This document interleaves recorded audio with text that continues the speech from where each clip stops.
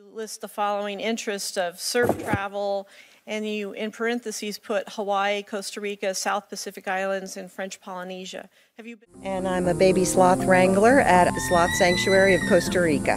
Well, we probably. including the largest frog species in Costa Rica, the smoky jungle frogs. And on the Caribbean side of Costa Rica, one of the most iconic. The eastern mountainous slopes of Costa Rica seem to be a world. Be someone that people would look up to. To give back to the girls in Costa Rica is something that I've been carrying in my